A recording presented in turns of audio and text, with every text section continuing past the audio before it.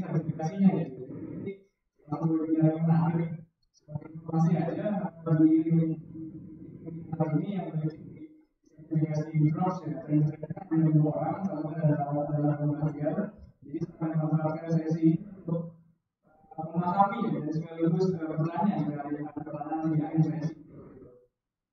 saya akan dibagi di bagian, beberapa akan ada pemaparan dulu dari Bapak Muhammad Banjir nanti ada sensor yang akan kita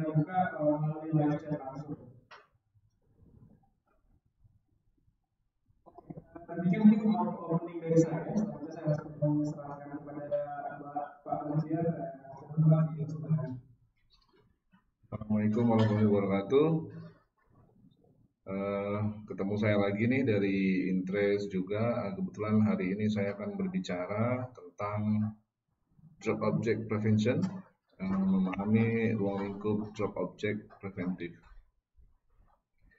Jadi drops ini sebetulnya sesuatu yang baru juga ya di Indonesia, tapi sebetulnya sudah dikerjakan oleh perusahaan asing internasional juga uh, kebetulan pekerjaannya juga di Indonesia tetapi kebanyakan uh, perusahaan asing yang melakukan oke okay.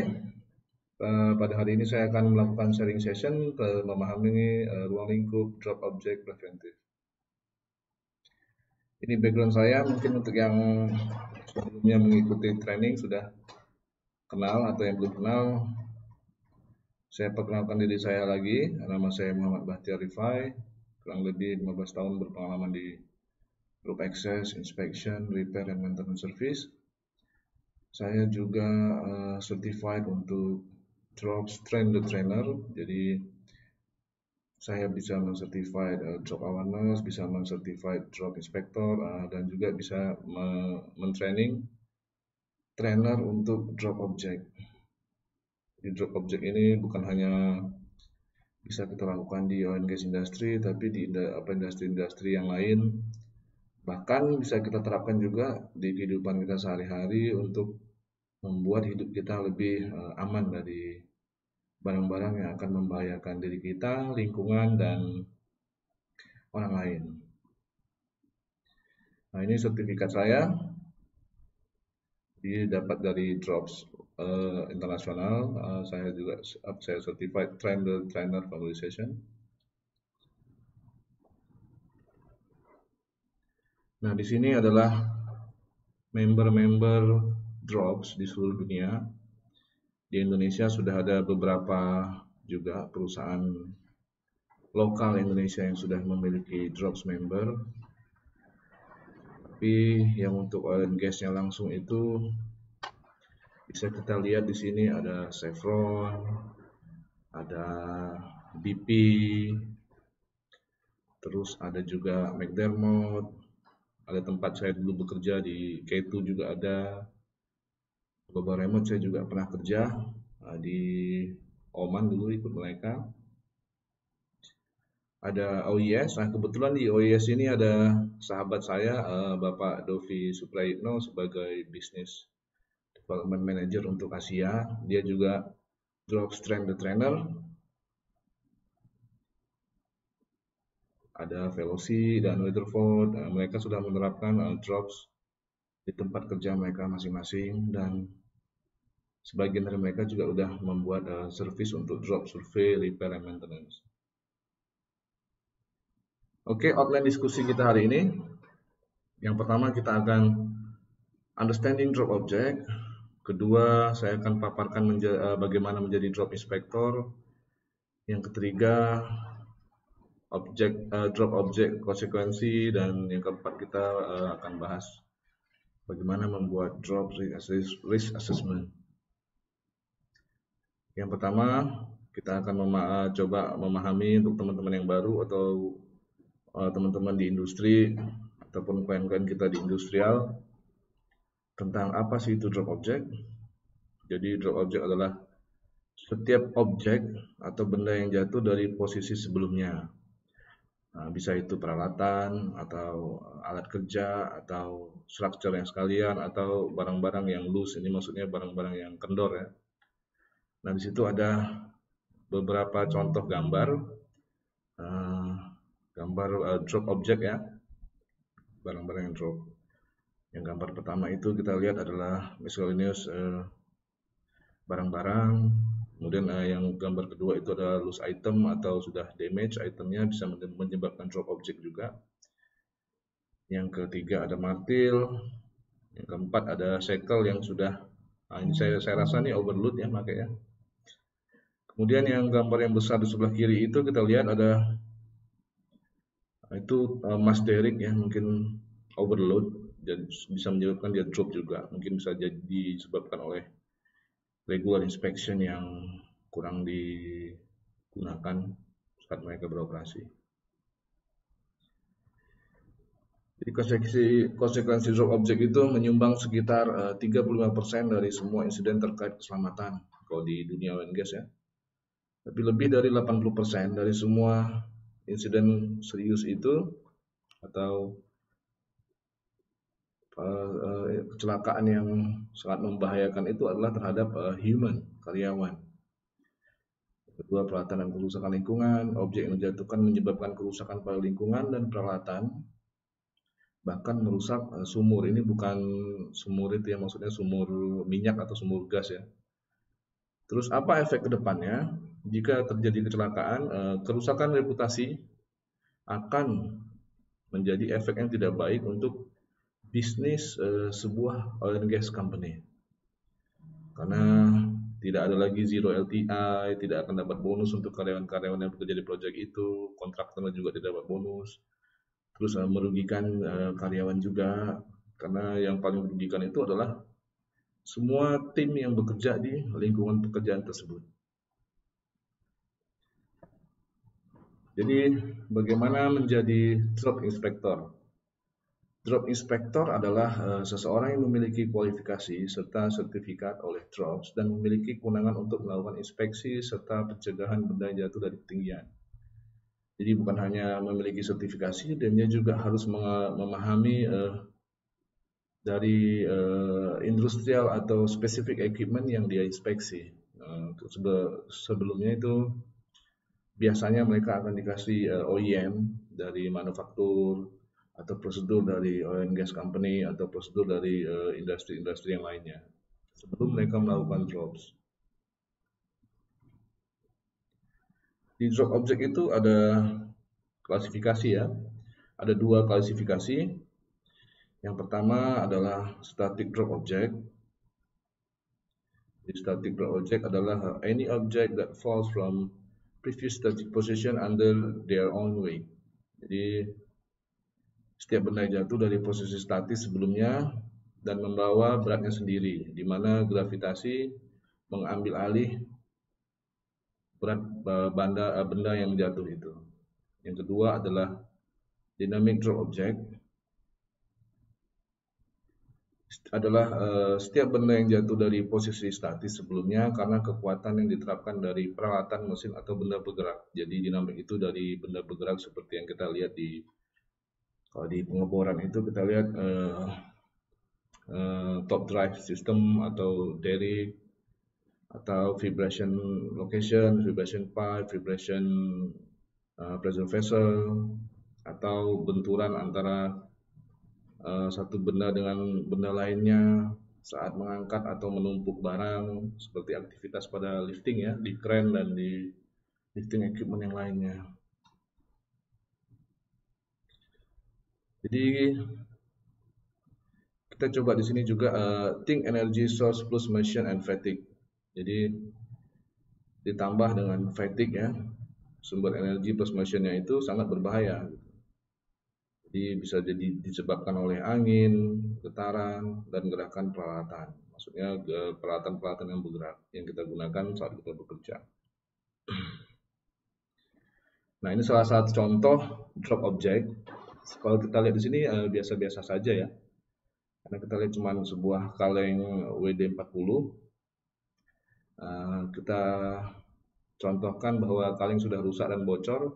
Jika jatuh akan tumpah, jelas bahwa tergelincir dan potensi insiden di lingkungan. Pertanyaan yang nomor duanya adalah, apakah WD-40 mudah terbakar? Oh, sudah pasti. Karena kalau kita jatuh, tergelincir, itu juga drop object ya. Jadi humannya berjalan, tergelincir, jatuh. Jadi perlu digarisbawahi bahwa drop object bukan hanya barang-barang di atas ketinggian 1,8 meter ataupun 2 meter, tetapi apa yang bisa menyebabkan sesuatu drop itu adalah drop object juga. Drop object subject. Nah, pasti kalau kita berpikir uh, kaleng ini jatuh, kita berpikir kita bakal, bakal tergelincir ya. Nah, tapi sebetulnya contoh yang akan saya tunjukkan ke sini uh, lebih ekstrim lagi. Jadi kita lihat slide berikutnya. Nah, kalau misalkan WD uh, WD40 itu berada di atas, dia jatuh, tidak menimpa orang yang di bawah sedang bekerja, tapi uh, dibayangkan bahwa dia lagi menggerinda atau eh, membuat mechanical job yang menyebabkan spark. Kita imajinasikan uh, dia ini lagi berada di offshore installation. Jika WD-40 ini jatuh karena vibrasi dan ada percikan, apa yang terjadi? Nah, jadi ini khusus untuk uh, safety safety officer yang bekerja di oil gas industry. Kita harus melihat uh, segala sesuatunya itu uh, step back. Kita mundur ke belakang sedikit, kaji resiko itu yang lebih besar. Jadi drop object drop object itu bukan hanya melihat barang yang jatuh atau kemungkinan kemungkinan barang yang jatuh, tapi kita harus memikirkan juga uh, sebab dan akibat yang terjadi. Jadi kalau misalkan ini WD-40-nya gara-gara vibrasi dia jatuh karena kalengnya tadi di gambar pertama sudah bocor dan pekerja ini lagi menggerinda ada percikan api, ya bisa jadi itu kebakaran. Nah, kalau kebakaran itu tidak bisa diatasi karena nggak ada firewatch yang tersedia di sini, bisa-bisa abandon kita dari offshore. Oke, kita ke next slide-nya. Uh, apa saja yang menyebabkan uh, drop object? Yang pertama adalah push hazard and risk assessment uh, inadequate design, not addressing drop object potential. Gambar yang tadi dia tidak meletakkan barangnya tepat di tempatnya dalam kondisi uh, 40 W, apa, WD 40 tadi juga kondisi tidak bagus.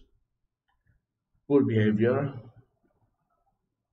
inadequate inspection, repair and maintenance, ini sangat penting. Makanya di sini kita uh, lebih dalam memahami uh, apa itu sebetulnya drop object, fungsinya untuk apa, gimana cara pencegahannya, kemudian redundant and integrated homemade tools equipment. Nah, kalau di drop object, eh, biasanya kalau kita melakukan inspeksi, kita tidak boleh melihat apa pun ya di, di uh, installation, mau itu di drilling rig, mau itu di platform, mau itu di PSO, ataupun di kapal, kita tidak boleh mengaccept homemade tools, atau uh, barang yang dimodifikasi atau dibuat sendiri tanpa ada manufacturer dari OEM-nya. Kemudian failed fixture and fitting, corrosion and vibration, inappropriate procedure, not following the procedure, inadequate store, seperti tadi juga yang WD40 ya, nah, itu uh, tidak benar store-nya, dan poor housekeeping, uh, environment uh, juga mempengaruhi drop object, yaitu uh, iklim dan sea motion, maksudnya uh, ombak gede atau bagaimana itu juga mempengaruhi drop object planning and operational miscalculation. Nah, buat teman-teman, uh, saya buat ini dua bahasa ya. Oke, kita ke next slide. Ini salah satu salah satu contoh video. Ini adalah mereka tidak membuat risk assessment yang baik untuk drop object potensial. Jadi mari kita lihat sama-sama video ini.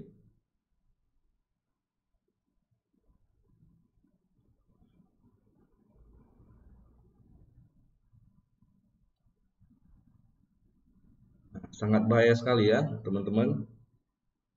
Ini adalah drop object potensial yang tidak dilihat oleh HSE dari Uh, safety officer kapal tersebut.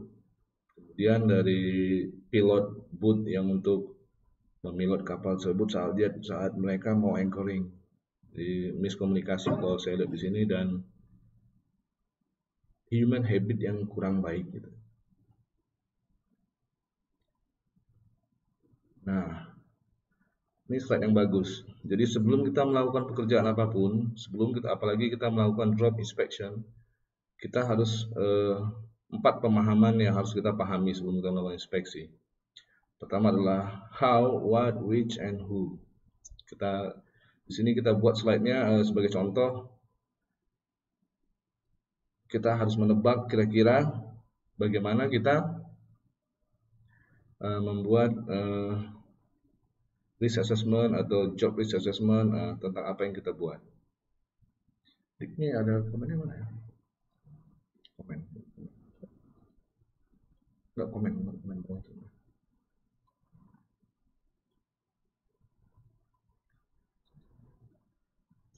Boleh itu sana. Oke. Jadi kita nggak diibaratkan kita memotong pohon ini ya, tapi apa saja yang harus kita siapkan? Nah, pertama ini kita menyiapkan gerinda apa e, apa nih sensor ya untuk motong kayu, dan bahan bakar untuk si sensor itu. Tapi kita jangan lupa bahwa ada risk yang tersembunyi sebetulnya. Uh, sebelum kita memasuki uh, area pohon-pohon ini untuk memotongnya, ternyata risk yang ada itu adalah ini.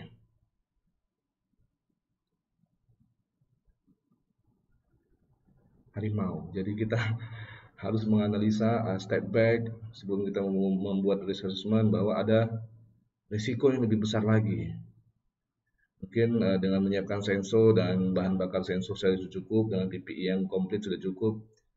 Habis itu memotong dengan arah yang atau memotong pohon tersebut dengan arah yang benar juga sudah cukup. Tapi kita lupa bahwa ada harimau yang lagi mandi-mandi di situ.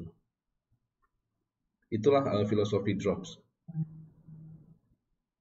Terus apa yang harus kita siapkan? Apakah roti? Nah, supaya harimau itu tidak mengejar kita. Jadi ini dia. Tugas hari ini kita adalah melaksanakan tugas umum riset pekerja informasi bahaya dan menempatkan kontrol sesuai di tempat. Kita cenderung mengatasi eh, bahaya yang terkait dengan tugas kita dan perlu mengambil waktu untuk mundur dan meninjau gambar yang lebih besar. Step back. Bagaimana kita bisa menghilangkan, mengganti, dan mengontrol bahaya. Nah ini teman-teman yang sudah di industri biasanya tahu kita membuat PTW. PTW itu kalau buat yang belum tahu adalah permit to work. Jadi rekap pada PTW persyaratan untuk mengidentifikasi dan mengelola semua bahaya. Tetapi kita harus melihat gambar yang lebih besar.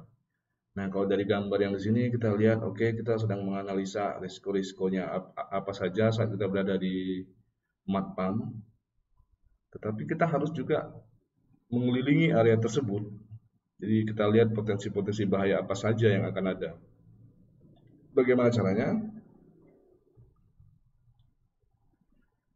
Kita tidak selalu dapat melakukan ini sendiri.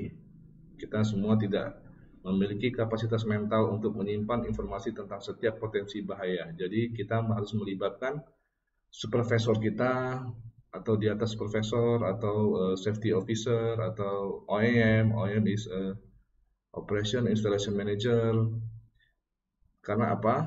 Untuk menanggu, apa, membantu kita menjadi uh, penanggung jawab juga di tempat area kita bekerja atau memberikan saran.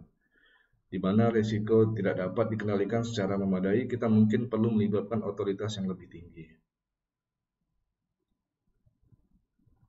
Salah satu uh, contoh hazard identification tools dari gravity, motion, mechanical, electrical, pressure, temperature, chemical, biological, radiation, dan sound. Jadi kalau biasanya drug inspector itu selalu membawa kartu ini sebelum melakukan inspeksi. Jadi semuanya itu akan ada ada ada beberapa pertanyaan di hazard identification tool ini. Okay, uh, not saying potential for drop object, not aware of hazard, no hazard identification.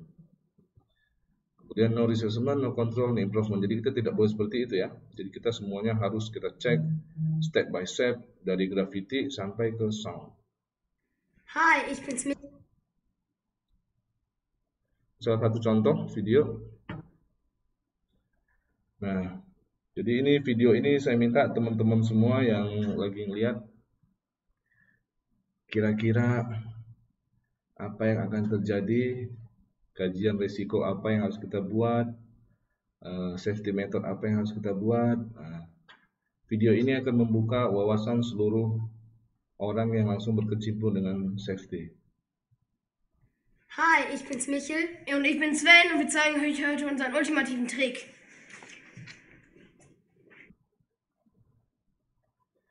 Ini drop object ya, drop object tanpa kita lihat ada barang apa pun yang tinggi. Jadi dia ingin melakukan uh, sulap, dia menarik uh, di atas meja itu.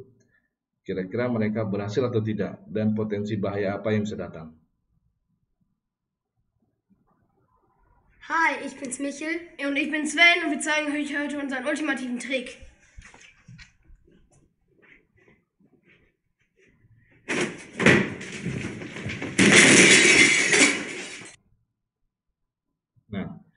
Kita lihat dia ingin melakukan sesuatu tapi dia tidak melihat uh, resiko-resiko di sekitarnya.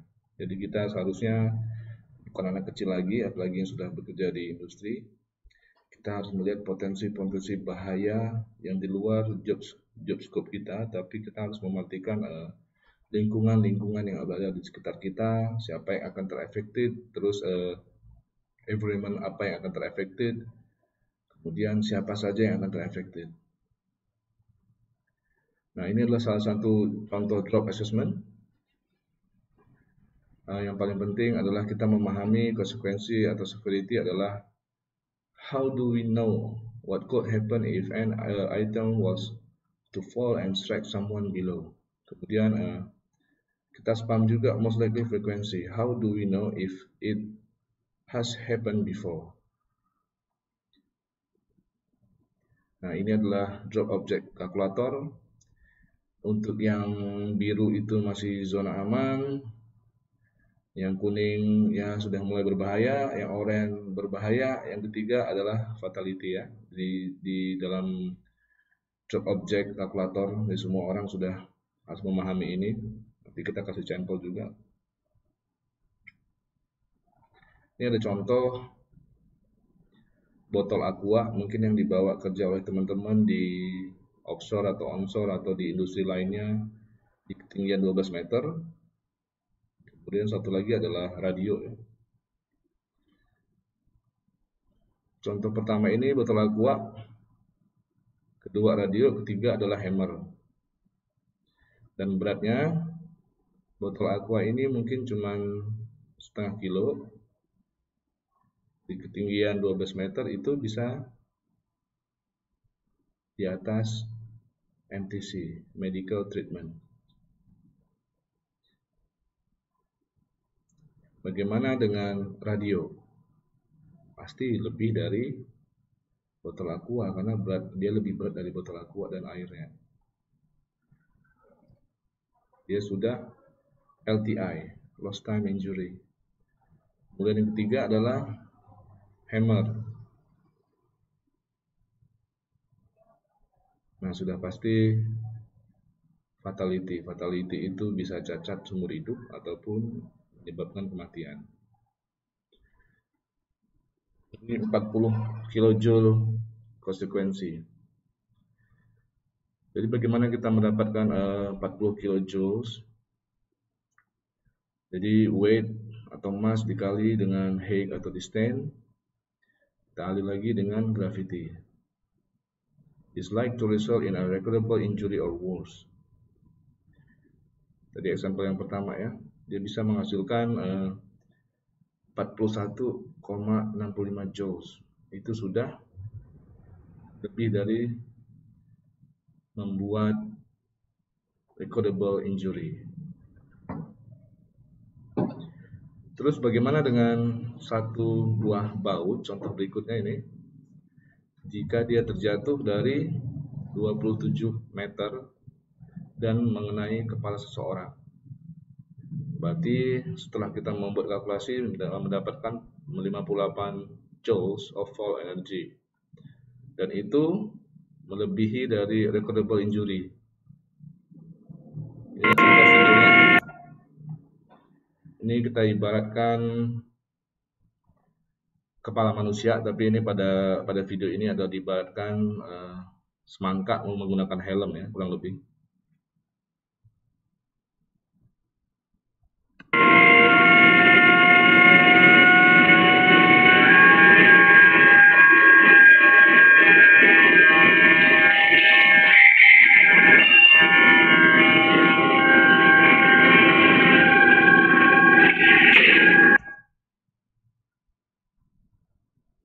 Ini yang terjadi jika baut tadi jatuh dari ketinggian 27 meter dikali dengan gravity.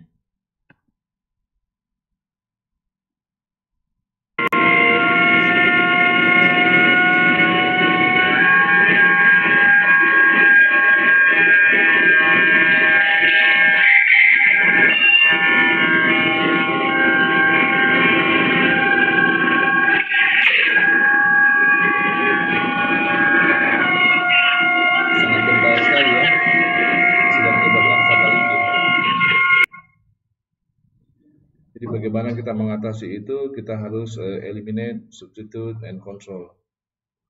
Apa aja itu engineer control prosedur training dan awareness safety sign and signal dan PPE adalah barrier terakhir dalam mencegah drop object. Bagaimana kita preventing drop object yang pertama kita harus buat adalah continuous review, kita harus membuat risk assessment, management of change, sharing listen and learn seperti yang sekarang kita buat adalah sharing listen and learn. Kemudian kita harus membaca procedural barrier, prosedur, proses, standar, and specification checklist. Ya, procedural barrier itu kita harus mengikuti prosedur di tempat tempat kita bekerja dan uh, prosedur-prosedur drop object preventif seperti saat ini yang udah ada buat prosedur itu adalah uh, ABS, kemudian LEA, terus IRATA juga membuat prosedur khusus untuk drop object. Kemudian di drop objectnya sendiri juga udah ada uh, drop object best practice, sudah ada uh, drop object reliable scoring uh, scoring. Jadi sudah ada dibuat, tinggal kitanya mau mengikuti atau tidak. Kemudian technical barrier, uh, equipment, tools, fixing, control, nets, and guards itu sudah ada di uh, sudah ada beberapa manufacturer di dunia memang membuat equipment sesuai untuk uh, drop object prosedur. Jadi uh, equipment-equipment yang digunakan uh, untuk bekerja di ketinggian sudah ada dibuat. People barrier, uh, knowledge, experience, and compliance. Uh, sebagian perusahaan oil and gas Indonesia sudah memanggil langsung drops untuk datang ke ke perusahaan mereka untuk mengadakan awareness dan training. Experience adalah ya kalau ingin menjadi drop inspector ya minimal mereka memiliki experience bukan hanya certified and compliance ke prosedur-prosedur yang sudah diterapkan di seluruh dunia.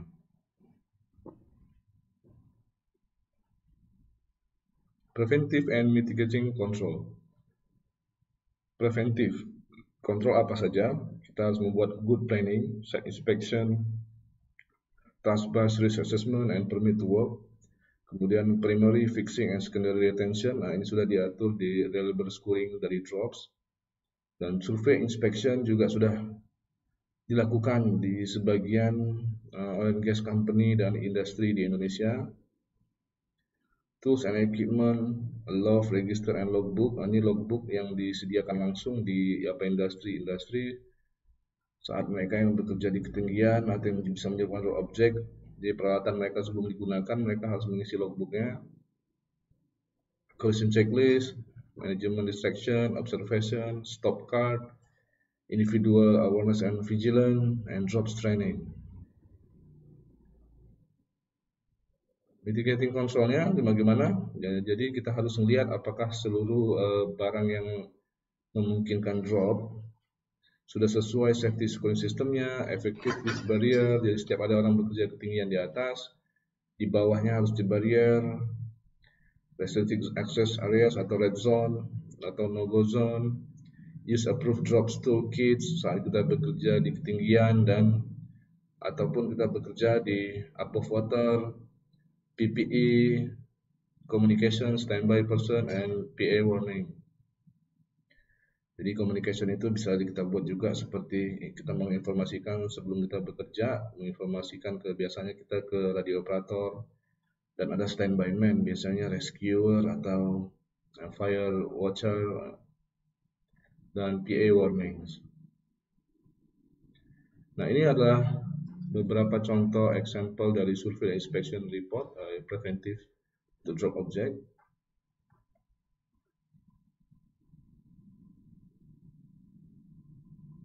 ada banyak uh, survei inspection contoh report tergantung dari member drops company itu dan si drops trainer trainernya membuat seperti apa dan sesuai dengan approval oleh klien.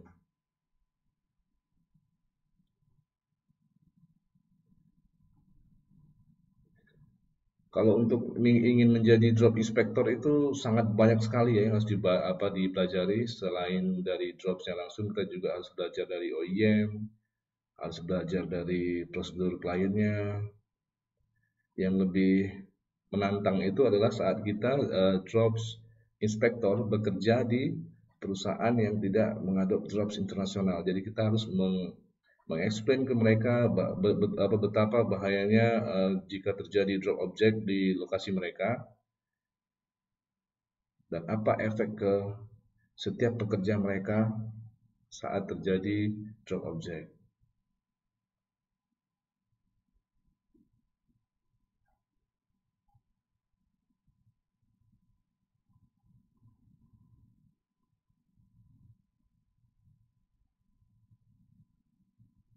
Nah, saat kita melakukan uh, drop isi uh, drops object inspection atau survei, kita akan menghasilkan uh, namanya itu drop object inspection book yang akan kita tinggalkan di area kerja kita atau klien kita.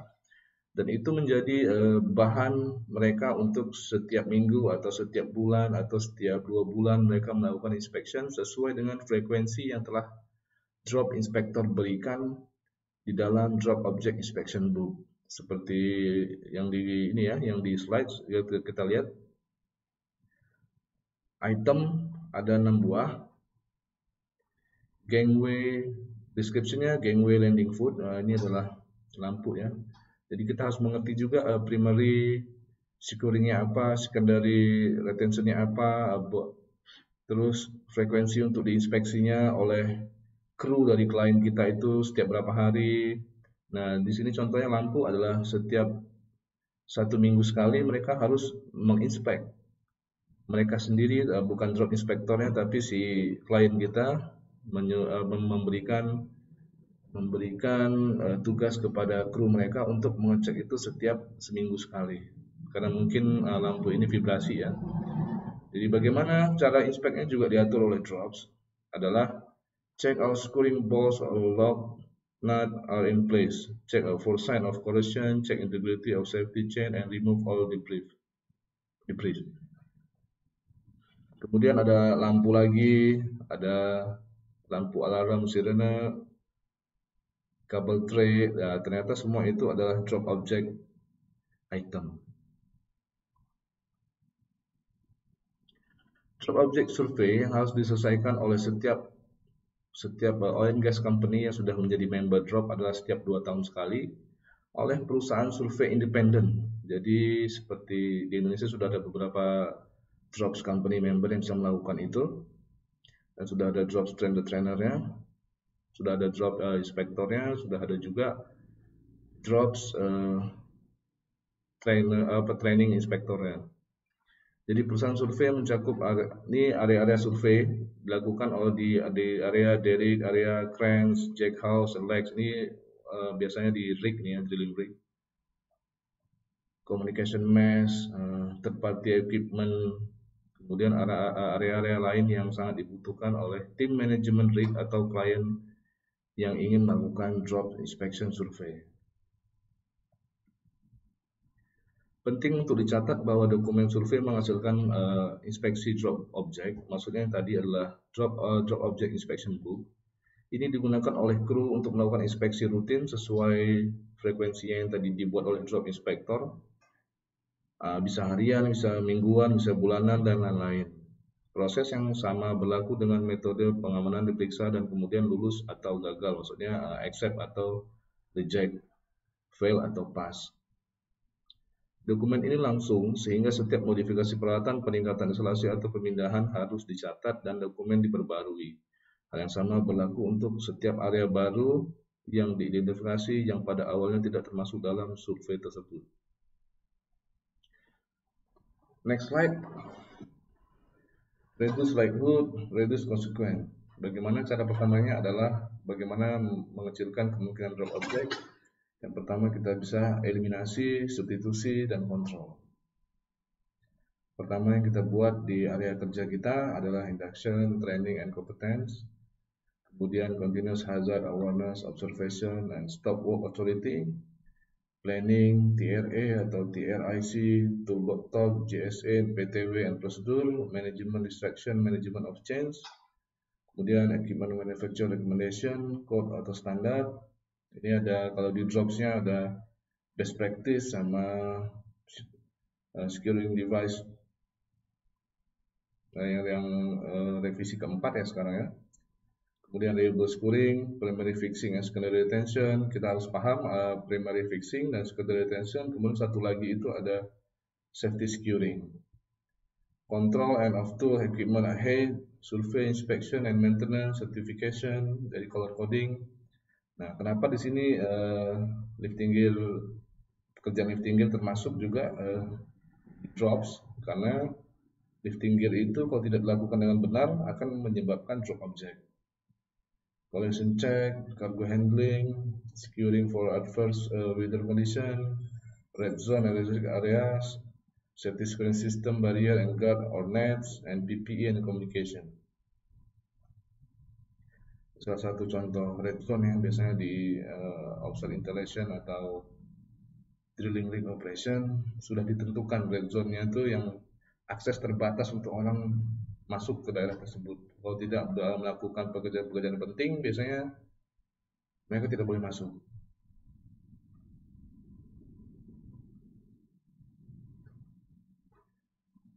Red zone harus apa saja. Jadi harus clear signpost with barricade and color code.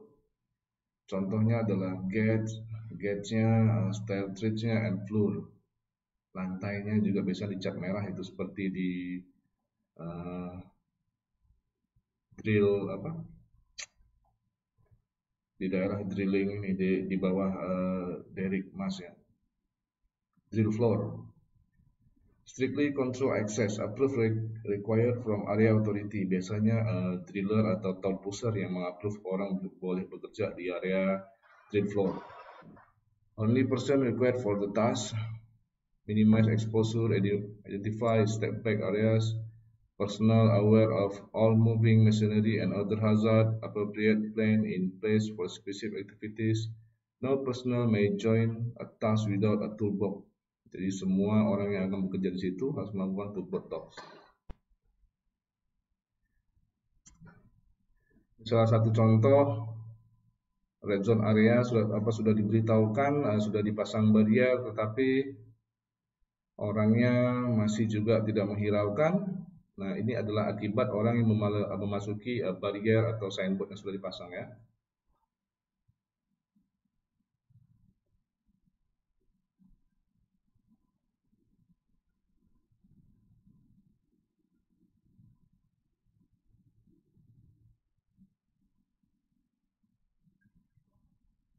Nah, terkadang kita juga nggak kita sudah sebagai safety atau sebagai supervisor kita sudah mengingatkan bahwa ini adalah bahaya. Kemudian orang juga kadang-kadang tidak mau mendengarkan uh, kita tidak bisa berbuat apa-apa lagi karena resikonya akan ditanggung oleh dia sendiri. Kemudian tools at head toolkits preventive or mitigation Only use company approved kits, uh, maintain regularly, inspect, use a logbook, record tools and permit to work secure tool or equipment at all times. Jadi sebagian dari sebagian dari oil and gas company sudah menyiapkan uh, peralatan-peralatan spesifik yang hanya boleh digunakan saat di bekerja di ketinggian. Sudah ada juga uh, manufaktur atau produsennya di dunia ya. Ini adalah salah satu contoh homemade equipment yang memang tidak layak kita gunakan saat kita bekerja di ketinggian.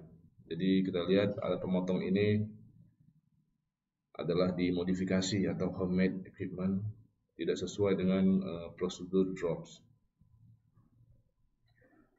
Hazard observation atau pengamatan bahaya Nah, ini adalah uh, setelah slide ini kita akan memberi contoh uh, lebih lebih spesifik uh, bagaimana kita menjadi drop inspector ataupun menjadi kru yang ditugaskan untuk melihat inspection book inspection book hasil dari drops company yang telah melakukan inspection di aset kita ya.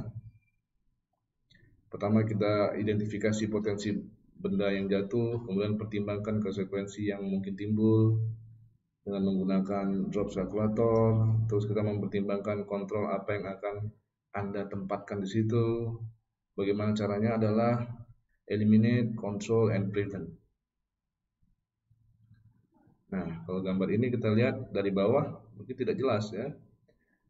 Jadi kita harus menggunakan group access sepertinya ya untuk menuju ke atas kalau kita hanya drop inspector melihat seperti ini menurut saya kurang baik karena sebetulnya ini ya yang mau kita lihat.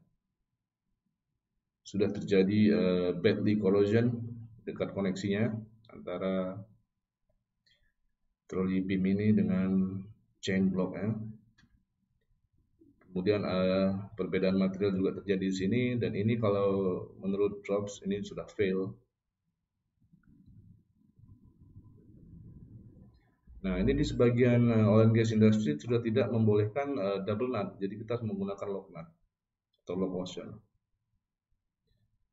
Ya, kalau kita kembali lagi ke seperti ini, kita melakukan drop inspection, berarti kita tidak melakukan drop inspection, berarti kita hanya mengambil gambar dan mengada-ngada. Ternyata ini yang yang yang yang ada di trolley beam dan chain trolley tadi ya, badly corrosion. Nah ini juga di kren ya.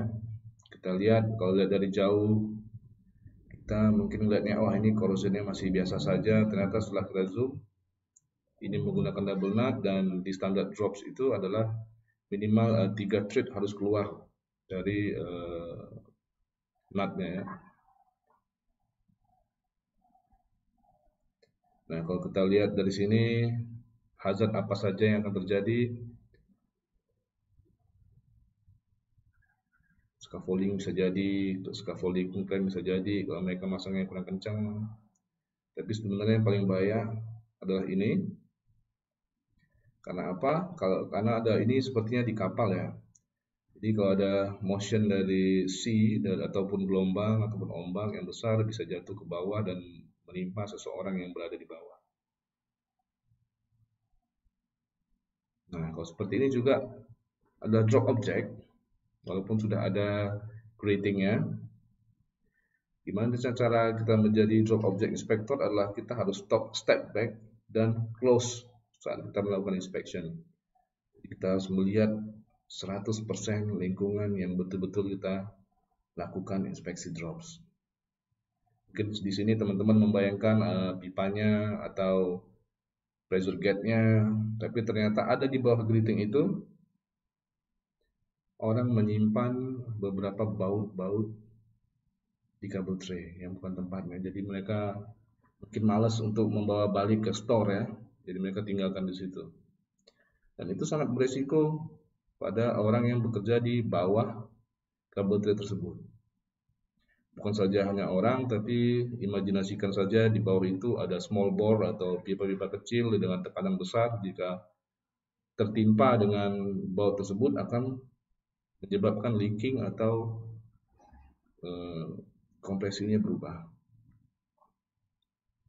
Kalau kita zoom seperti ini, ini tidak akan terlihat apa-apa. Di situ kita lihat ada kabel tray, ada pipa, segala macam. Ternyata di yang dilihat adalah di flange-nya, bautnya sudah kendor satu terus tidak melewati tiga nah itu adalah menyebabkan vibrasi dan bisa menyebabkan nut itu jatuh. Nah kita lihat juga kalau itu tertendang oleh seseorang yang di situ juga berbahaya. Kemudian signboardnya di mana?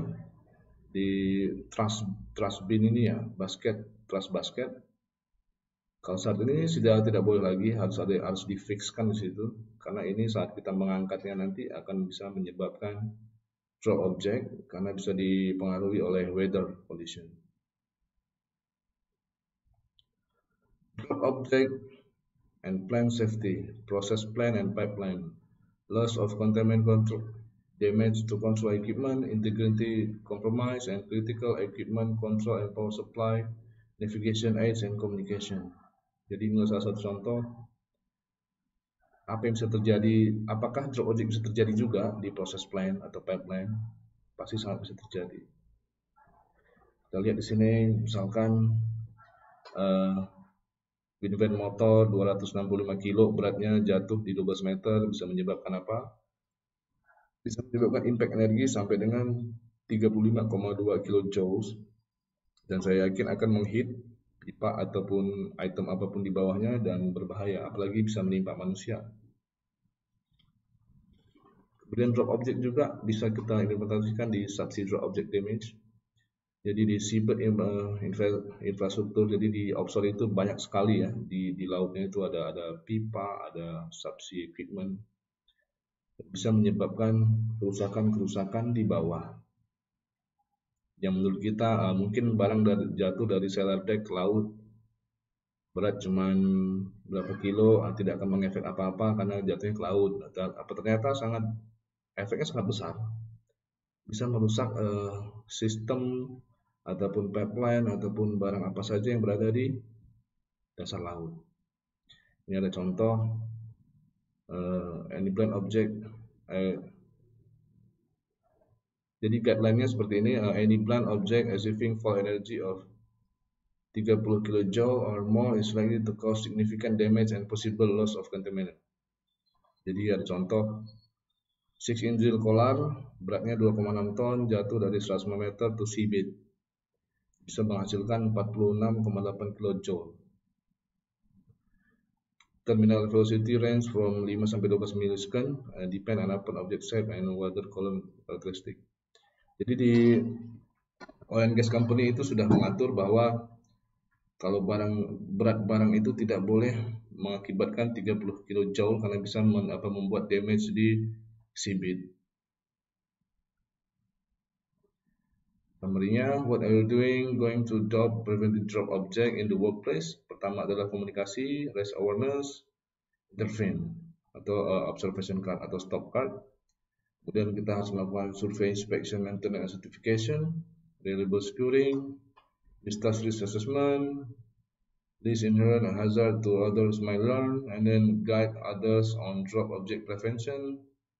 Jadi kalau teman-teman yang sudah mengikuti webinar interest ini juga bisa menginformasikan ke teman-teman yang lainnya bahwa bahaya dari drop object itu sangat merugikan bagi diri kita sendiri, perusahaan tempat kita bekerja, dan lingkungan kita. Dan juga kita juga harus melihat apa-apa saja yang bisa terjadi di lingkungan kita, bisa di rumah, bisa di tempat tempat umum, kira-kira bahaya drop object, kita harus mengingatkan mereka juga. Kemudian kalau di tempat kerja kita harus mereport all drop object uh, item ke supervisor atau ke teman atau kita buatkan di stop card. Karena drop object occur everywhere so be vigilant. Stop work if drop object present and immediate hazard.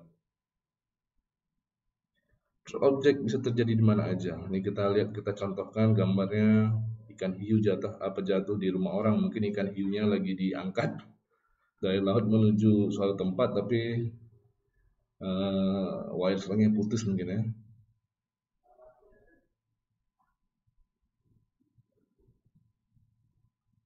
Nah, saya ingin menyampaikan sedikit, uh, Mas Idi.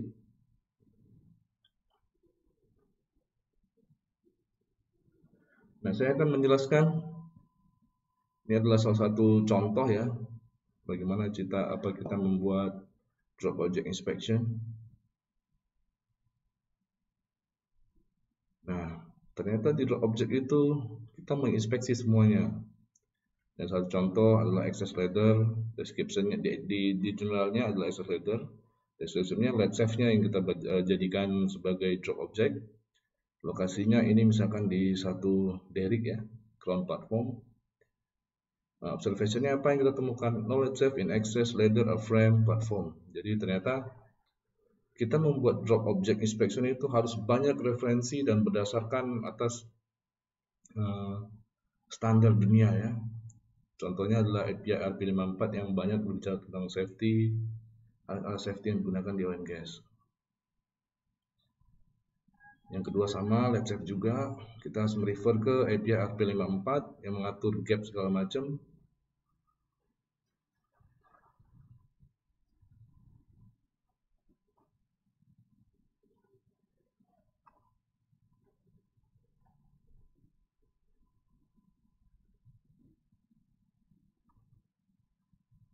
Termasuk kita di menginspek juga uh, lifting gear equipment atau safety equipment?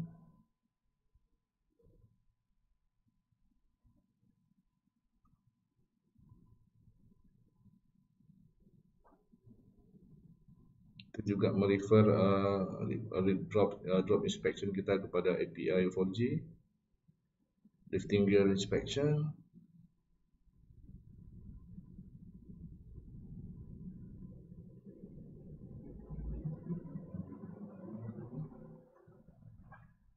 Nah, jika ingin belajar tentang ini bisa langsung mengontak ke interest. Jadi kita siapkan next trainingnya karena ini lebih dalam mas ya. Jadi mungkin trainingnya adalah menjadi drop inspector yang certified by drop trainer trainer trainer.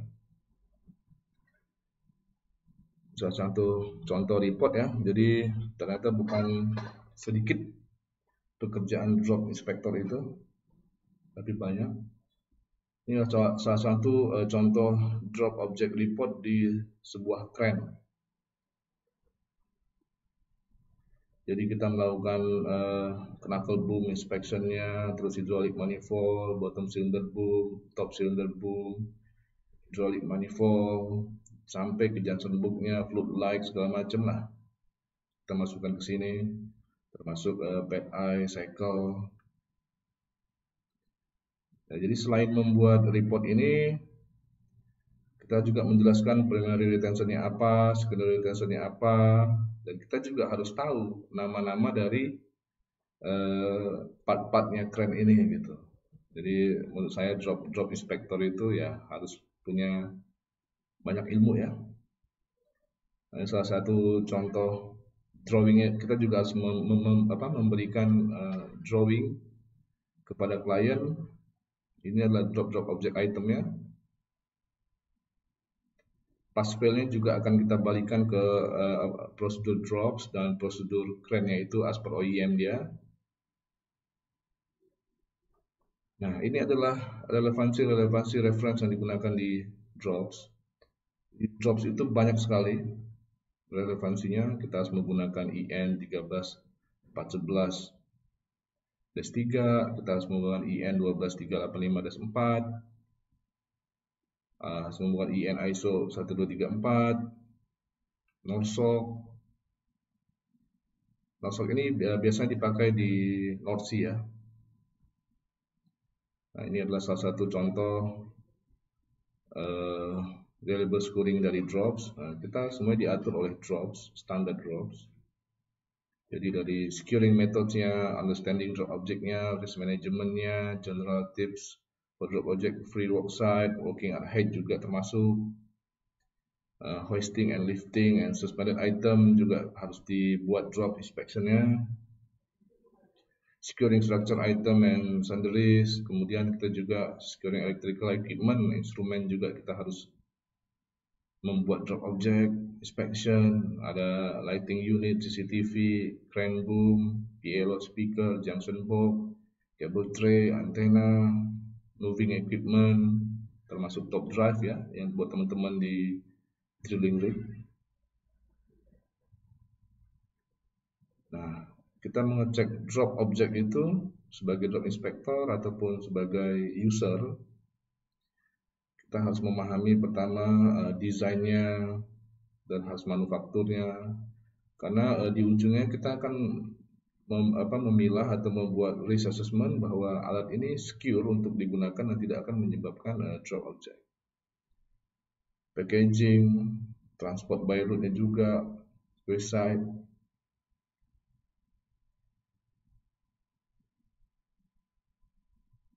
Nah, ini sesuai dengan drops reliable, uh, reliable scoring yang, yang terada sekarang. Nah, cukup penjelasan saya dari cukup penjelasan dari saya uh, sebagai drops trainer trainer salah satu drop trainer di Indonesia. Uh, jika ada kekurangan, saya mohon maaf buat teman-teman semua. Saya akan mensamarikan uh, penjelasan saya tentang drop object prevention ini. Kita semua terpapar benda yang jatuh di setiap tahap dalam siklus hidup, maupun itu di struktur, peralatan, dan operasi. Kami memiliki kesempatan uh, untuk memperkenalkan peningkatan di setiap tahap, mulai dari desain dan pembuatan hingga pembongkaran. Jadi di interest kita sangat fokus juga di drops, dan kita akan membuat tiga training ya, pasti ya, di drops pertama kita sekarang webinar gratis untuk teman membuka wawasan tentang bahayanya drop object dan kita akan membuat drop awareness. Kemudian kita juga bisa membuat drop inspector dan kita juga bisa membuat uh, training untuk drop trainer. Tujuan penting adalah untuk mendefinis, uh, mendefinisikan hambatan yang akan mencegah benda jatuh. Rintangan ini harus dipertimbangkan dalam desain, pengadaan, transportasi, penerapan, dan pemeliharaan. Terutama di mana peralatan tersebut sering kita gunakan. Proses desain harus mengakomodasikan tahapan kunci di mana rekomendasi uh, praktek terbaik drops dapat dimasukkan sebagai uh, bahan penting untuk kita.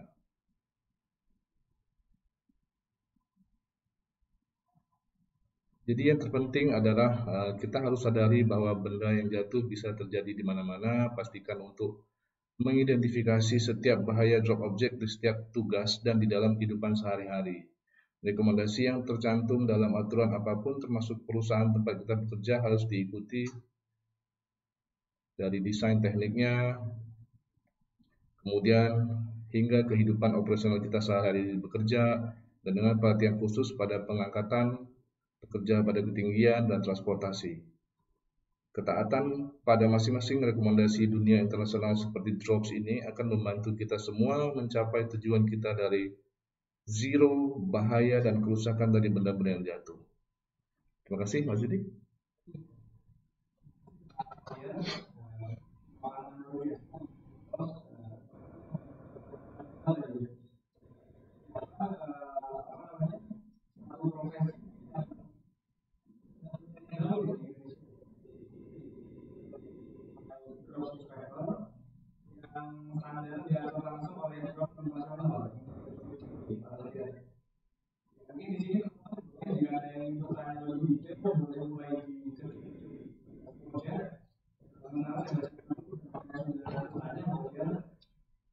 Kalau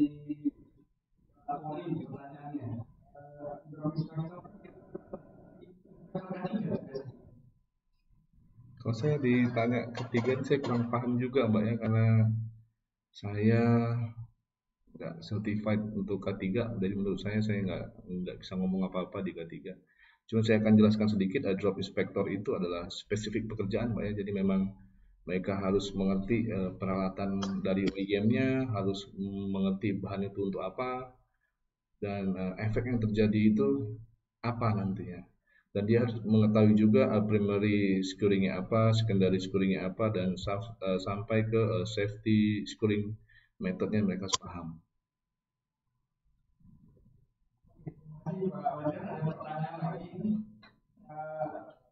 Apa biaya yang dibutuhkan untuk mendapatkan itu silakan langsung ke uh, interest ya Mbak, saya kurang paham juga itu.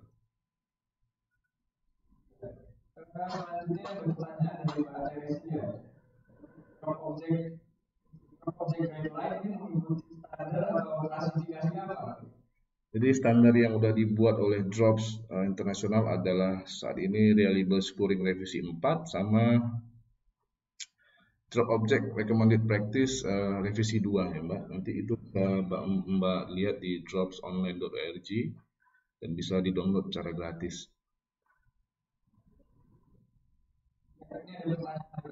Mbak Citra ya. Sudah. Apakah kebutuhan manufacturing terkait untuk sertifikasi object? Apakah pada manufacturing sangat perlu respon dibandingkan oleh fabrikasi? Maksudnya manufacturing itu butuh objek nggak sih?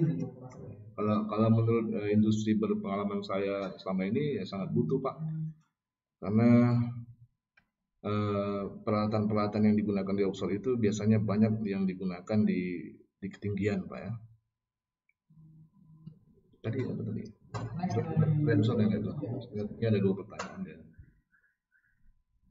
Maka untuk pada manufacturing sangat perlu untuk diberikan red zone, oh sangat perlu Pak. Jadi menurut saya fabrikasi juga Pak ya, karena di di manufacturing dan fabrikasi uh, ada juga overhead crane, kemudian ada juga uh, vibrasi area. Jadi yang bisa menentukan itu red zone adalah si, si PIC yang paling tinggi di fabrikasi atau uh, atau manufacturing industrinya dan HSE-nya Pak.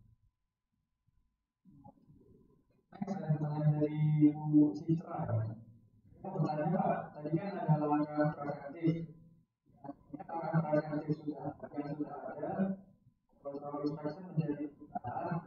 Ya, kalau di drops uh, sudah diatur semua Mbak untuk item-item drop object.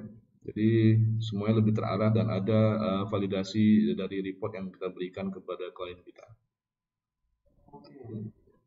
Pertanyaan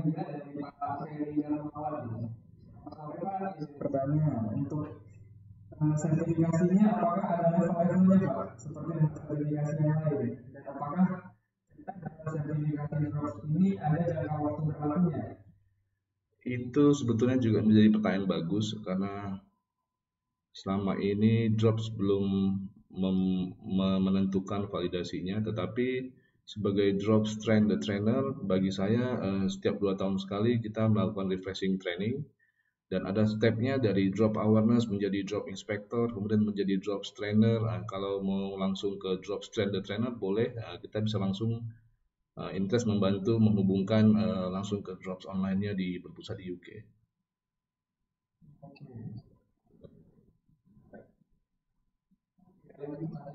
Ya. Apa perbedaan drops dengan Lea Crane Inspector? Lea Crane Inspector.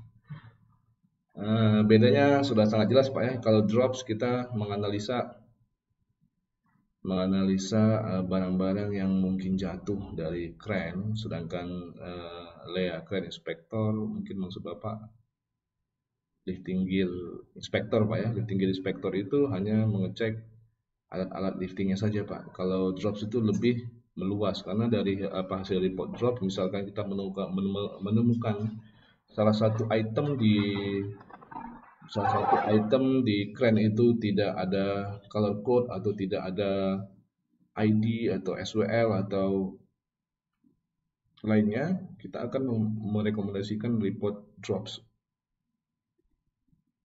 Oke, dari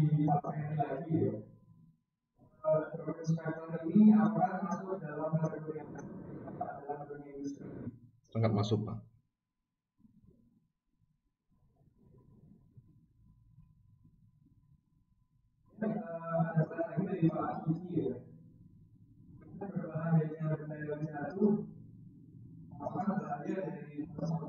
bisa diminimalisir?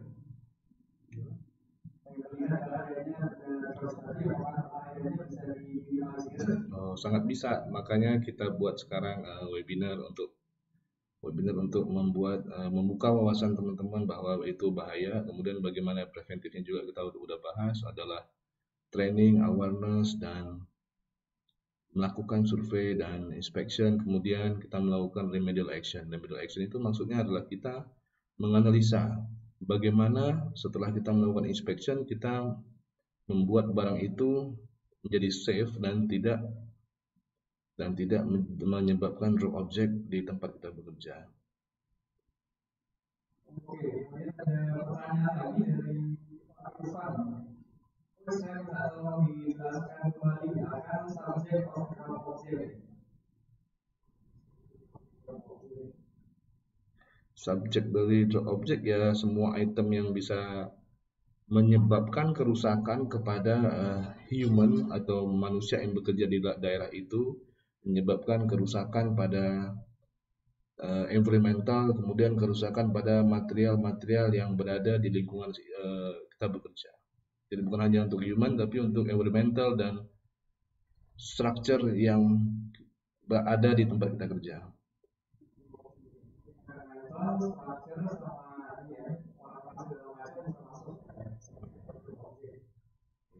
Ya,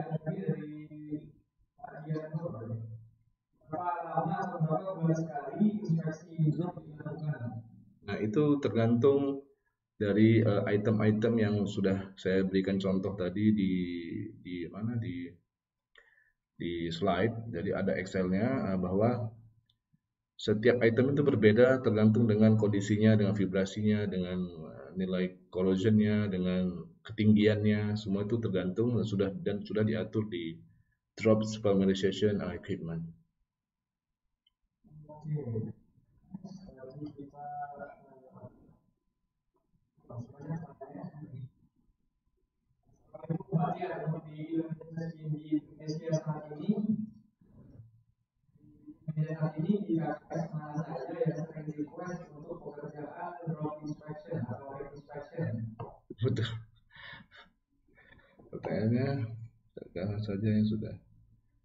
uh, tidak bisa kita sebutin ini ya merek ya, tapi sudah sering, uh, tapi di atas 50% itu adalah uh, drilling rig operation, kemudian sisanya adalah K3S yang berada di Indonesia. Termasuk uh, ya termasuk K3S 3S besar Indonesia sudah menerapkan drop inspection dan rig inspection. Terima kasih kita lanjut lagi ke pertanyaan selanjutnya. Selamat sore Pak, saya mahasiswa. Apakah Drops terbatas pada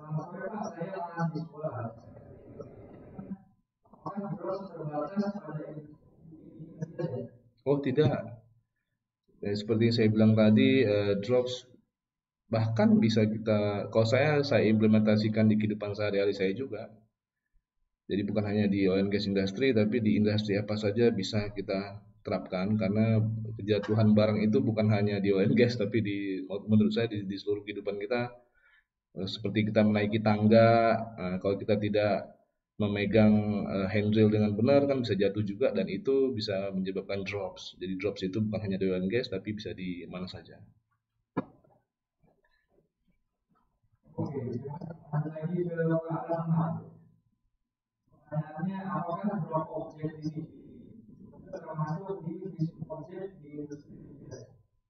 berbeda mas fishing eh, project itu adalah service untuk fishing tools mungkin ya tapi kalau uh, drop object ini lebih ke inspection di semua area termasuk di drilling rig, refinery, uh, offshore, onshore, refinery, uh, power platform. Kita melakukan survei dan inspection untuk item-item yang menyebabkan drops.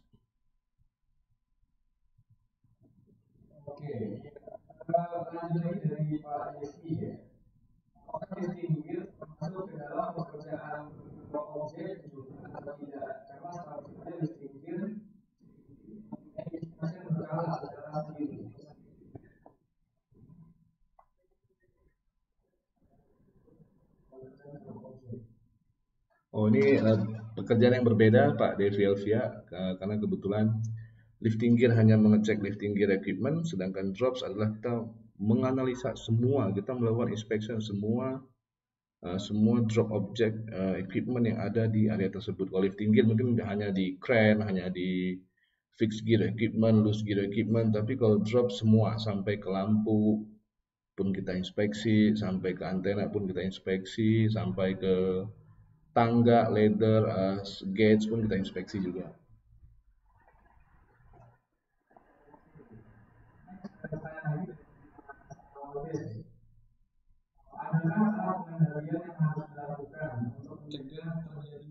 drop object penjelasannya Pak terima kasih uh, untuk Mas Awaldes Christian uh, sudah ada tahap pengendaliannya seperti yang tadi saya bilang uh, pertama adalah kita melakukan survei, melakukan inspeksi, kemudian kita melakukan uh, konsultasi dengan klien, kemudian kita melakukan remedial action. Dari Pak Yohanes ya, untuk sendiri, gimana Pak dan dengan biaya berapa? Itu bisa langsung menghubungi tim interest ya, Mas Yohanes. Nanti uh, interest yang akan memberikan informasi kepada Mas Yohanes. Oke. Next lagi pertanyaan dari Pak Muhammad Fajar. Pada umumnya pelaksanaan cross inspection di industri dilakukan setiap kurun waktu tertentu atau tergantung kebutuhan perusahaan. Nah, ini dua-duanya benar. Kurun waktu yang tertentu seperti yang Drops katakan tadi melalui Drops Prosedur adalah setiap dua tahun sekali. Tapi kalau ke, bisa juga tergantung kebutuhan perusahaan. Misalkan kalau di drilling rig ya, yang saya tahu setiap mereka mau start new apa new well atau proses pengeboran lagi, ya mereka melakukan itu untuk men, apa, memastikan sebelum mereka bekerja kondisi mereka di oil rig adalah masih masih aman dari drop object uh, item.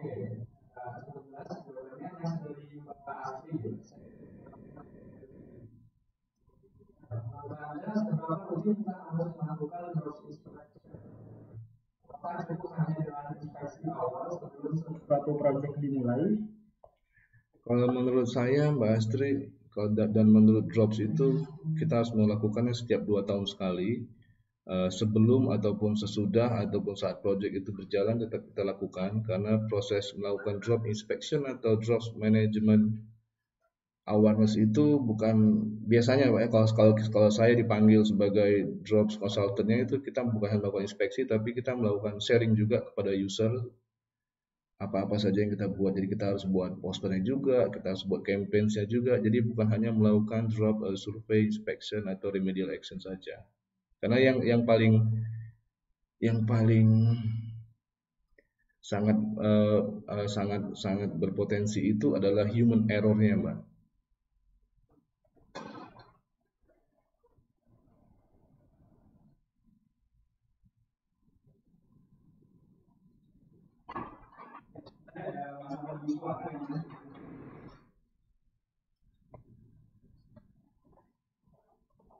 Nextnya ada pertanyaan lagi dari Pak Nasruddin. Assalamualaikum Pak Dia mau bertanya untuk inspeksi drop objek, apakah ada apakah ada pengecekan berkala dan diatur dalam apa aturannya Pak ya? Gimana?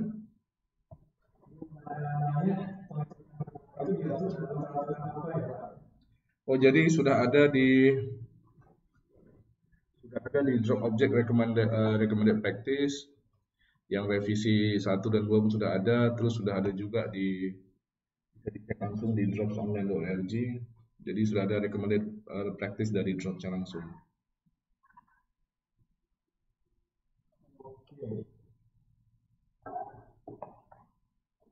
Ya, okay, uh, ada pertanyaan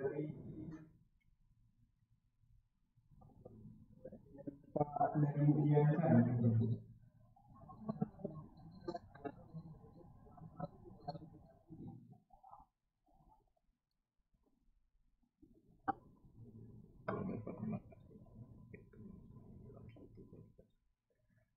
bisa lebih dijelaskan lagi Bu. Nanti akan saya jawab.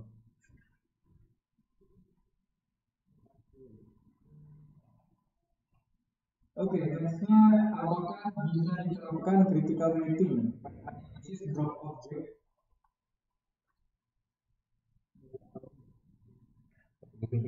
rating pada sangat bisa sekali Pak. Jadi kita sebetulnya sudah sudah tahu eh, barang-barang uh, yang mana high high potential drop object dan mana yang low high potential uh, drop object.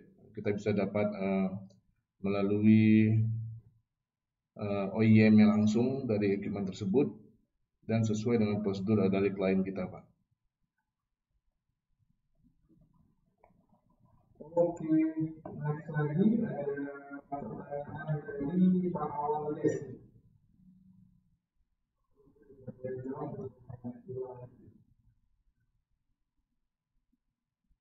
Oke, dari Yosi. Pengamanan dengan sekunder ya? Oke. Jadi primer primer retention itu adalah sudah sesuai dengan OEM-nya. Misalkan satu barang harus menggunakan lock nut, nah sekunderinya bisa jadi pembantunya sekundari itu adalah uh, washernya atau lock washernya seperti itu.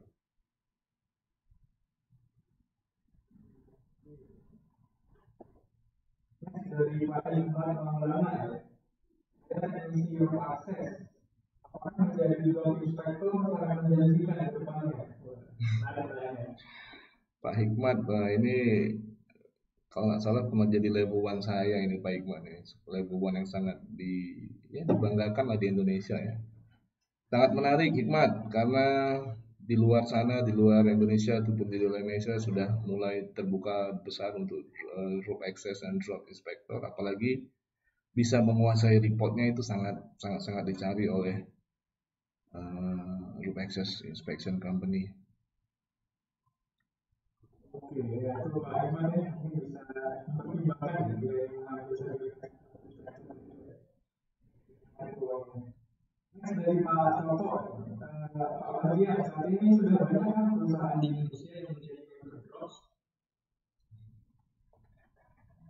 Kalau untuk uh, third party inspection masih sedikit, tapi untuk uh, K3S-nya sudah banyak, uh, sudah ada Petronas, sudah ada Exxon, sudah ada BP, ya. Pertamina Drilling juga mengikuti itu, Apex Indo juga sudah member Drops. Oke, next dari Pak Samsul Arifin. Apakah untuk inspeksi blok harus dilakukan oleh orang yang sudah bersertifikasi? Dan apakah dari awareness blok saja kita bisa melakukannya? Jadi perbedaan awareness dengan drop inspector adalah seperti ini. Drop awareness itu cuma sebagai pengetahuan. Kalau drop uh, certified uh, inspector adalah drops yang betul-betul uh, orang tersebut sudah memahami, sudah pernah melakukan, dan akan diajarkan bagaimana cara membuat reportnya dan seperti apa reportnya. Karena jujur saja Pak, untuk memberikan drops report ke klien itu sangat berat ya, apalagi kita di Indonesia. Karena mungkin dari satu plan itu ada 200 atau 300 item yang kita harus jelaskan ke mereka. Dan kalau kliennya mengerti, oke, okay, but sometimes kita ketemu klien yang tidak mengerti drops itu agak ribet. Jadi itulah perbedaan antara awareness training dengan drop inspector itu di situ karena di, di training drop inspector kita akan menjelaskan every details apa yang harus dilakukan dan menjadi tanggung jawab seorang drop inspector.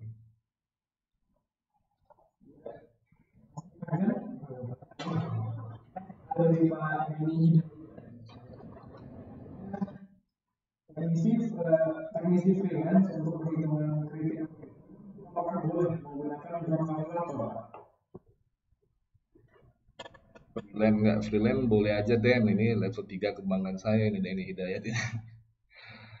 Jadi siapa pun yang udah certified ataupun uh, bekerja satu tim dengan job inspector boleh menggunakan uh, critical drops karena uh, drops kalkulator itu bukan hanya digunakan oleh si inspektor tetapi juga K3S yang sudah member drops dan walaupun mereka belum member drops tapi kebanyakan ketiga S itu sudah memahami HSE-nya bahwa drop object itu kalkulatornya hampir sama saja semuanya karena rumusnya uh, rumus Jones ya. Oke. Lanjut lagi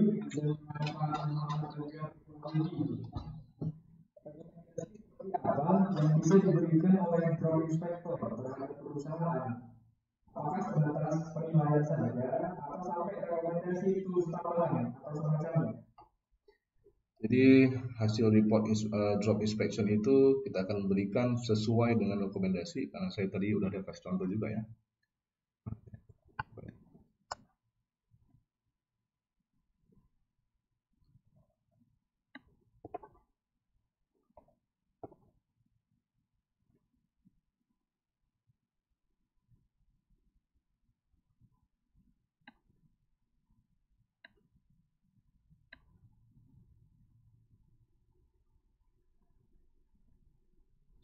Ini kalau dilihat-lihat, nah, kalau dilihat lagi di dalam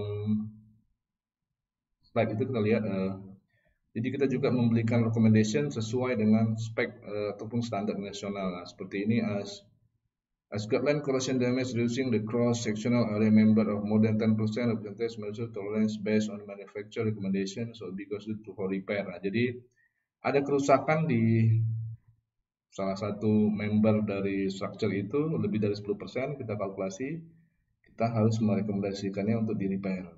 Tapi e, mau repair atau tidak itu tergantung klien kita. Tapi tanggung jawab sebagai drop inspector dia harus merekomendasikan seperti itu.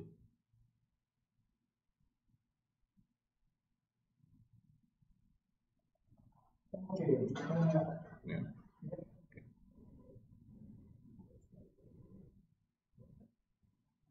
ya. lanjut lagi ke pertanyaan dari Pak Mustito. Bagaimana dengan tools tidak proper dalam langkah pencegahan, tapi bisa mengantisipasi suatu objek agar tidak terjatuh? Diterima jika cenderung drop objek, Pak? Ini tergantung kliennya mas. Kalau kliennya uh, bukan drop members, kita juga agak sulit me- apa, memberikan mereka. Tapi kita cukup sebagai drop inspector memberikan rekomendasi report bahwa peralatan yang tidak proper itu harus diganti dengan peralatan yang proper dan sesuai dengan uh, rekomendasi uh, best practice dari drops.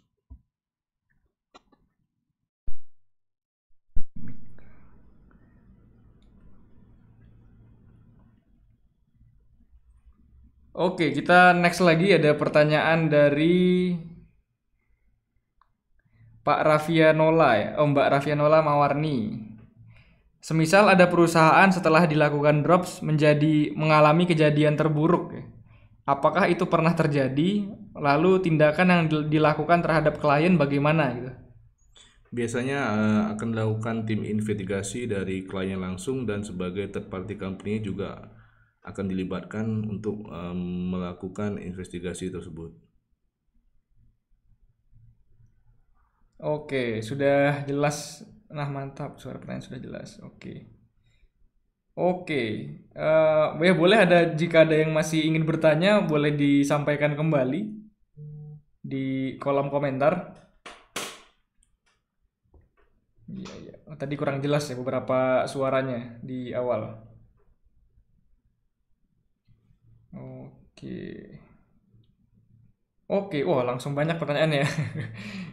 Jadi kan udah nggak ada yang bertanya lagi. Nah, ini ada dari Pak Huda Nurul nih, lebih teknis pertanyaannya. Apakah di Drops juga mengatur tentang requirement minimum pembebanan Drops objek pada desain platform seperti API RP2E WSD, WSD?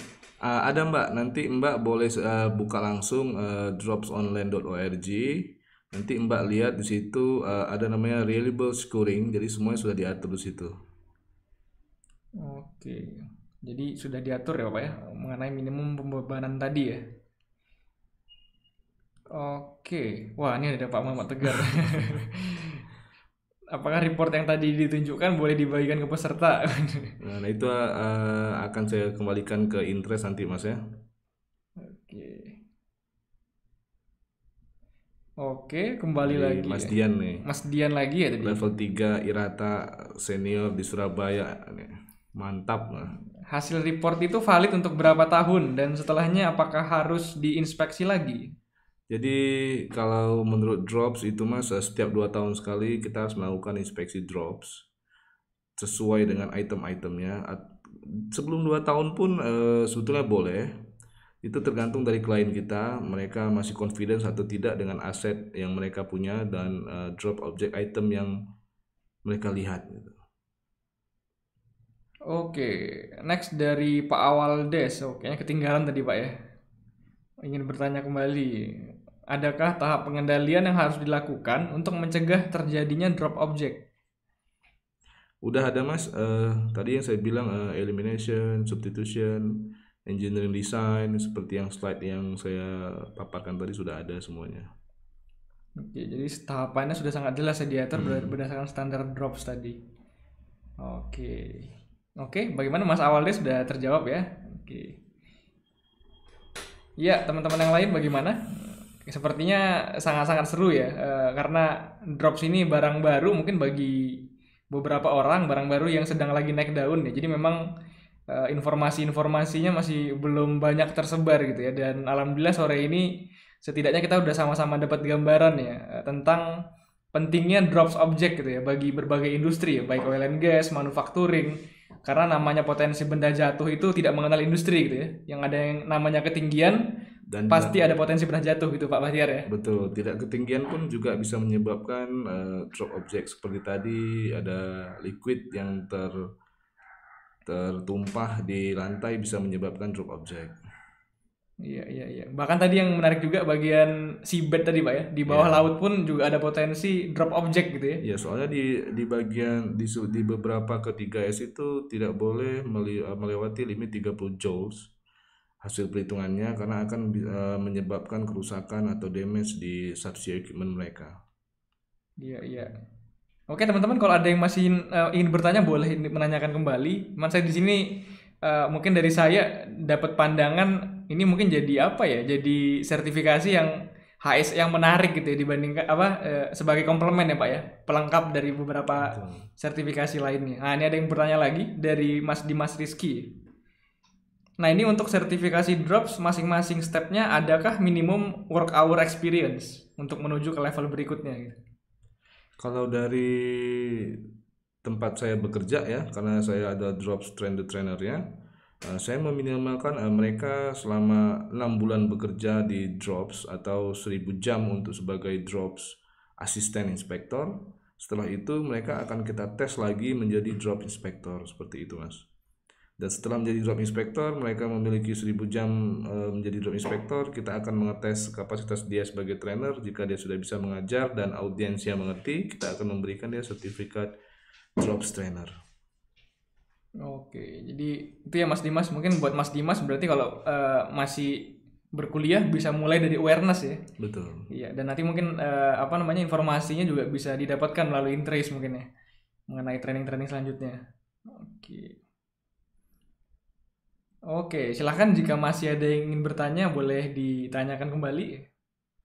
Sebelum kita tutup mungkin forum hari ini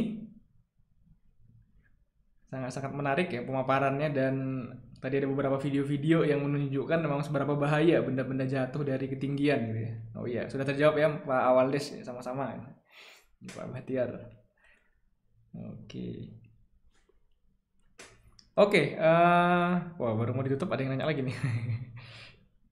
oh ini tadi Bu Bianca tadi yang pertanyaannya belum terjawab tadi Pak ya, karena belum apa minta penjelasan lebih detail tadi ya. Mm -hmm.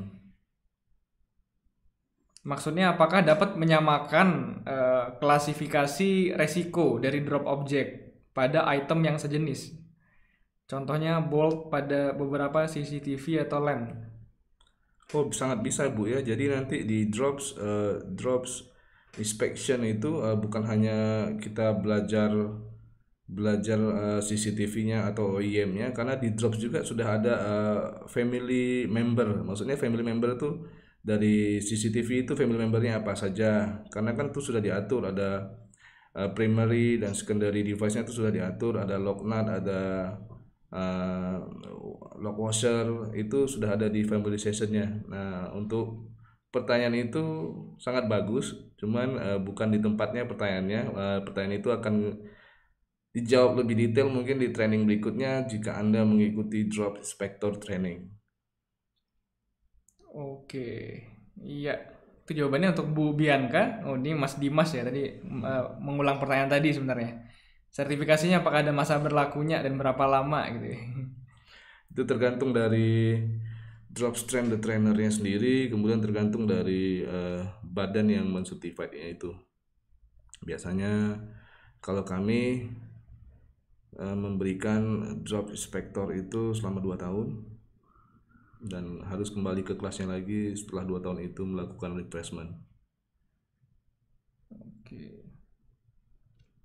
Oke, ya sudah terjawab semua pertanyaannya. Eh, diskusi yang sangat menarik sore ini. Mudah-mudahan kita sama-sama dapat gambaran sekaligus dapat motivasi kali ya untuk menggali pengetahuan lebih dalam ya mengenai drops gitu ya. Iya, eh, mungkin sekedar informasi iklan se- sejenak ya eh, buat teman-teman yang ingin mengikuti training sebagai drops inspector itu dari Intrace eh, mengadakan akan mengadakan training tersebut dalam waktu dekat. Jadi mungkin eh, bisa menghubungi Intrace melalui website atau email ataupun melalui channel YouTube berikut seperti itu. Oke, ini tadi Pak Kuku juga udah dijawab ya Pak ya mengenai inspektor drop apakah ada level-levelnya gitu. Jadi drop inspector itu tidak ada levelnya Pak. Eh, kita cuman eh, membuat kalau saya pribadi hanya membuat drop awareness, drop inspector dan drop trainer. Oke. Oh ini ada lagi pertanyaan nih. Oh, Mau ditutup nggak jadi-jadi. ada dari Pak Davin Christian ya dari UPN. Apakah cocok untuk mahasiswa teknik mesin konsentrasi konversi energi ke depannya untuk memiliki sertifikasi drops? Sangat mas, karena drops ini sangat berpengaruh kepada eh, vibracing mesin dan vibracing equipment ataupun vibracing facility, facility di industri-industri yang ada. Oke, berarti gambarannya nggak cuma untuk orang-orang HSE gitu Pak ya, Iya. tapi untuk orang-orang yang bersinggungan di lingkungan kerja juga membutuhkan ini seperti itu ya. Betul. Oke, ada lagi dari Pak Kukuh kembali ya. Kalau perusahaan apakah ada penanggung jawab teknis dan minimal level berapa? Minimal, ini pertanyaannya perusahaan apa? Maksudnya perusahaan si usernya, eh, kliennya atau third party third party drop service-nya ini ya, Pak Kuku? Ya mungkin kita bisa explore kalau misalnya user sebagai seperti apa Iya. gitu Pak. Kalau Kalau user menurut saya cukup HSE-nya aja yang yang memiliki certified uh, train the trainer, uh, misalkan HSE manager di suatu perusahaan. Cuman untuk uh, kalau untuk uh, service company-nya atau atau uh, drop inspection company-nya itu minimal dia harus memiliki satu drop train the trainer untuk memastikan sistem drop inspection survey dan remedial action-nya itu sesuai dengan aturan drops yang sudah ada di internasional. Oke, iya. Sudah jelas ya. Terima kasih Pak Kukuh pertanyaannya. Nah, udah, ya, terima kasih, terima kasih. Sangat menarik materinya. Ya, sama-sama Pak ya. Mudah-mudahan bisa bertemu di lain kesempatan. Oke, eh, mungkin kalau jika tidak ada pertanyaan lagi dari Pak Bahtiar mungkin ada yang ingin disampaikan lagi mungkin sebagai apa ya, sebagai penyemangat mungkin untuk teman-teman kita yang mahasiswa gitu atau mungkin buat eh, beberapa HSE HSE eh, staff yang ada di beberapa perusahaan gitu ya atau bagi klien-klien baik ya, yang sudah familiar maupun mungkin yang masih baru ya baru mengeksplor tentang apa sih drops itu gitu ya. Mungkin eh, sebagai apa ya sejenis closing eh, agar apa namanya teman-teman dapat semangat juga gitu ya untuk eh, memulai apa namanya memulai karir mungkin di bidang drop inspector. Boleh mungkin Pak kalau ada yang mau disampaikan? Kalau saya cuma mau cerita aja di terakhir ini bahwa sebetulnya pekerjaan drops ini sudah berjalan kurang lebih 10 tahun lebih 10 tahun ya kurang lebih. Dan sudah sudah ada pekerjaan itu di Indonesia tapi belum banyak eh, capability dari orang Indonesia sendiri yang memiliki capability sebagai drops inspector. Jadi sangat disayangkan Uh, itu celahnya orang asing masuk ke Indonesia dan bekerja di tempat kita. Sementara orang kita saya rasa kalau dididik dengan benar dan memberikan awareness diberikan training yang tepat akan bisa menjadi seorang drop inspector juga di negeri sendiri begitu. Jadi salah satu motivasi saya untuk saat itu mengambil saat saya menjadi drop inspector saya ingin menjadi drop trainer trainer adalah karena kurangnya pemahaman orang Indonesia terhadap pekerjaan drops yang ada di Indonesia. Peluang sangat masih besar sebagai drop inspector di Indonesia. dan saya yakin orang Indonesia juga bersaing juga bisa bersaing dengan uh, orang-orang uh, internasional dengan kualifikasi yang sama apalagi di dalam negeri kita sendiri.